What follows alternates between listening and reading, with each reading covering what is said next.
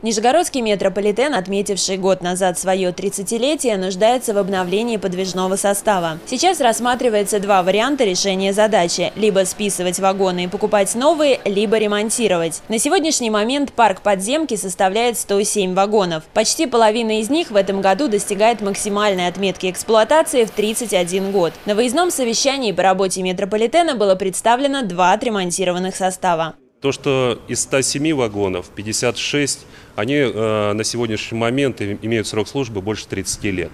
Списывать их никто не собирается. Вы видели сегодня, что совместно с администрацией города идет план, плановая капитально-восстановительная работа. Они будут продолжаться.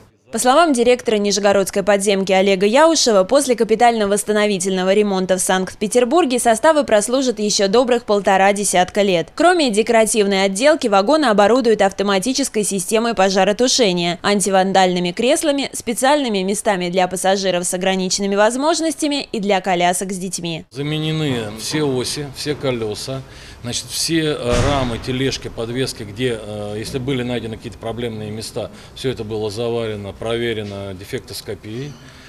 Значит, э, полностью на всех вагонах теперь пожарная сигнализация установлена и система пожаротушения, направленная на все возможные агрегаты, которые подвержены нагреву. Кстати, вагоны дорабатываются с учетом специфики региона, которому предстоит принять чемпионат мира по футболу. Например, русскоязычные надписи продублированы на английском языке. Также специально к футбольному форуму предстоит увеличить количество подвижного состава, что отразится на времени ожидания поезда. Необходимо, чтобы было в метрополитене около 125 вагонов, это, это 29 составов. К 2018 году будет обеспечено нормативное количество. А цель достигается одна, чтобы движение между станциями не превышало 4 минуты.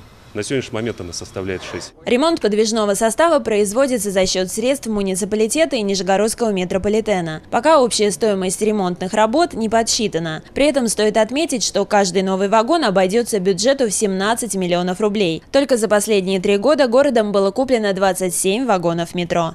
Анастасия Грибова, Георгий Захаров, столица Нижней.